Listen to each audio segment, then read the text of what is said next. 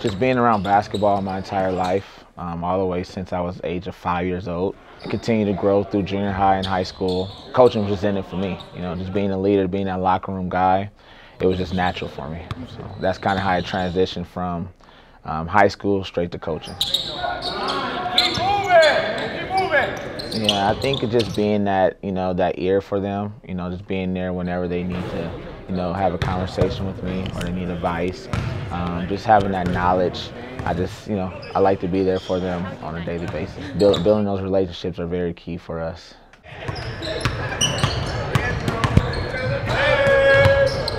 You never want to forget, you know, where you where you come from. Um, so I think that, you know, when I talk to them, I, I, let them know, you know, if you go to college, you need to come back and give back to your community, whether it's basketball camps or whatever the case may be. We always want to try to give back to the youth.